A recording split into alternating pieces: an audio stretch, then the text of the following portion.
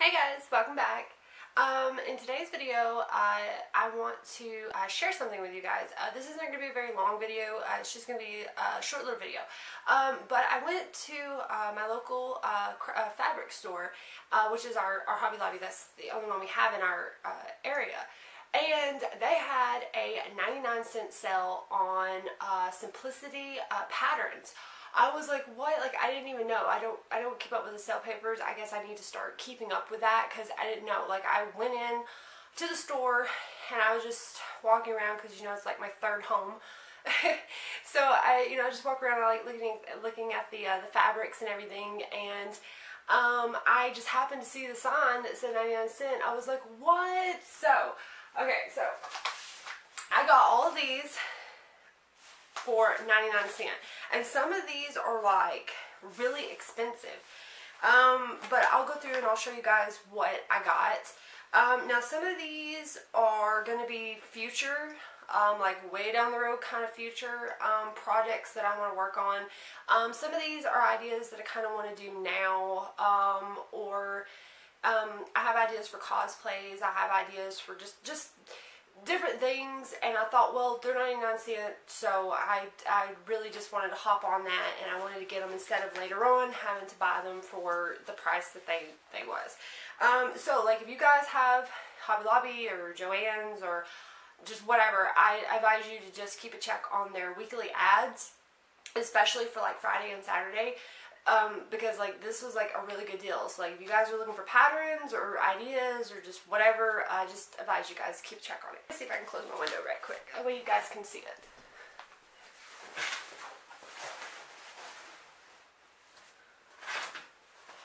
Okay. Okay, there we go. Sorry about that. Alright.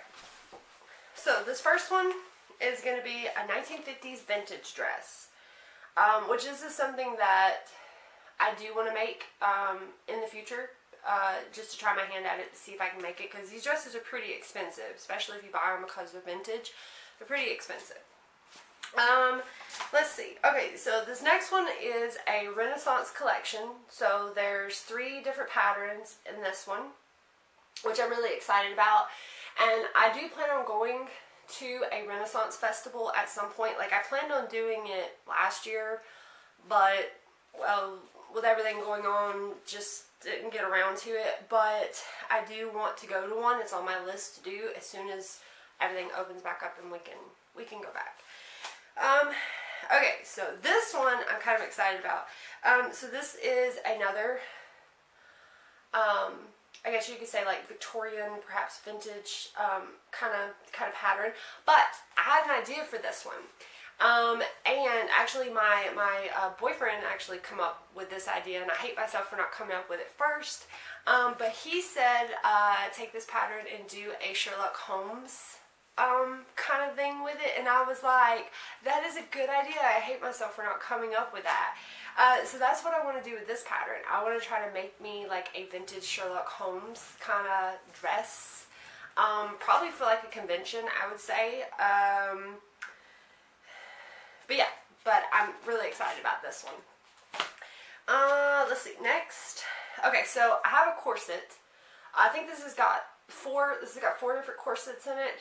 Um, just because I just want to see, uh, like, how perhaps to construct one. Um, but this had four different types in it. Um, I think it's like small, medium, large, I think, um, is what it is. But yeah, anyway, I just wanted to see, um, you know, just what it took because I've never made a corset, so it's something that I would like to try to make. So I got this.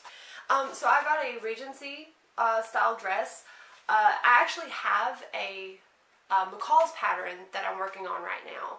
Um, I'm not completely done with it, um, but uh, I got this one to see perhaps if it was a bit more um, easily explained than the McCall's pattern, and I, am going to open it up and see. I haven't opened it up to, uh, to read it yet.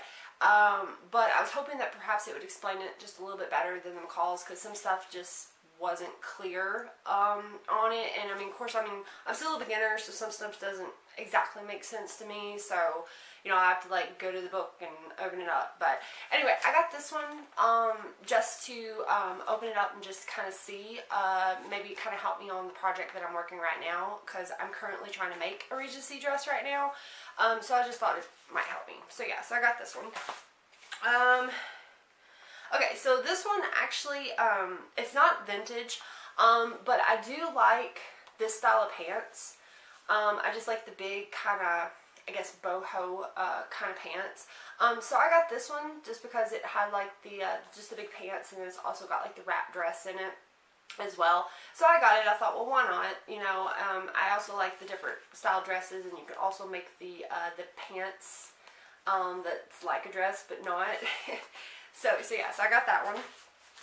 So yeah, so I got this one, and it has four different patterns in it. And I wish I had the names for all those dresses. Um, I don't. I apologize, but when I go to make them, I will have the the correct information for them. But I thought they were really cute, and I thought that um, some of the stuff on the back, because there is like four different dresses in there that I perhaps could take from one of them and do something with it. So I got that one to put up.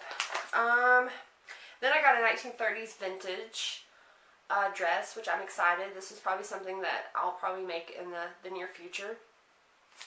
Okay, so the next one uh, is another Renaissance. Um, then I got this one. I thought it was very pretty, very elegant. Um, it's just simplicity costume. So I thought this was very, um, very, very pretty. Um, so I thought down the road, perhaps when I get a bit better, um, I can make something like this.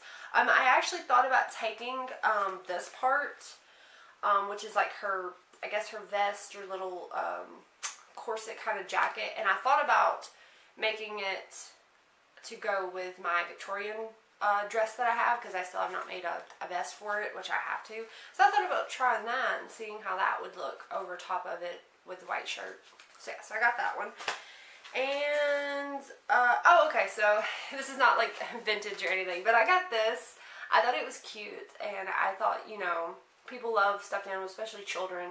And sometimes at work, I have people ask me if I can make things, sometimes for children, and I don't have you know, patterns or anything for kids. So I just kind of thought, well, that might be cute, you know, birthdays or just, you know, whatever.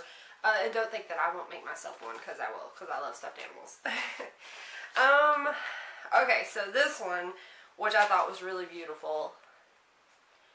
Um, completely not like I had never made anything like this uh, before, but I thought, you know, down the road, um, perhaps as I get better and I get more confident, I thought perhaps I would try this. I thought it was a very beautiful dress. So, like I said, this would be like a convention or uh, I could perhaps do a Renaissance festival with it, maybe uh, something along the lines of that. Um, but this would definitely be, this wouldn't be like an everyday thing that I could wear, which sucks because I would love to, but. And, okay, last one. Um, okay, so I thought this is a cute idea. So they had a vintage 1940s, uh, like Snow White, I think it's 40s. Well, well, didn't really specify, but 1930s, 40s kind of style dress, and I thought this was so adorable. And I thought, well, even even if you didn't want to do like the the Snow White, like the, the yellow and the blue, like even if you didn't want to do that, you could still use this pattern to make a very very pretty dress. And it even comes with a hat, so it, it tells you how to make the hat as well. So I thought that was so cute. So this is definitely something that um, I have a couple ideas for. So uh, so yes, you guys uh, stay tuned for that. Um, I'm not going to get to all these like right away, but these are ideas that I have. And I just wanted to share it with you guys because they was like 99 cents. Like all together, um, I gave $13 for all of these and I got, I think I got like 13 or 14 of them and I gave like $13 for them. And some of these was like really expensive. I mean, some of these was like 17, 18. Uh, I think, uh, I think two of them was like $22. So, I mean, even when they have like their 30% off sale, they're still like between 7 to $13. So, like, I got all those for just $13. So, I thought that was a good deal. And I thought that, you know, I had a couple ideas that I wanted to make, and it would also help me practice with my sewing skills, and I can try to get a bit better and a little more confident at what I'm doing. Um, so yeah, so that was all my patterns that I got, and uh, I just want to share that with you guys. And you guys just stay tuned and just kind of look for um, you know some sewing videos every now and then. I know I'm not very good at them. I'm still trying to get better at them, um, but I just something that I like, and I just wanted to share them with you guys. So. Um, so yeah, so I'm currently working on my Regency dress, and you guys will probably see this video before that one because I'm not completely done with that one. Um, but just stay on the lookout for that one. So when I get done with it, um, I am gonna maybe break that video up and do a couple different videos with that. I haven't really decided yet, but you guys just stay tuned for that. So yeah, so I thank you guys for watching, and you guys just keep a check. Um, you know, if you're if you're into sewing and you, you really love it, just keep a check at your fabric store. And uh, if I happen to catch it myself, I will try to let you guys know. Um, but like I said, like that one just completely surprised. Um, but I thank you guys for watching, and uh, see you guys in my next video. Bye.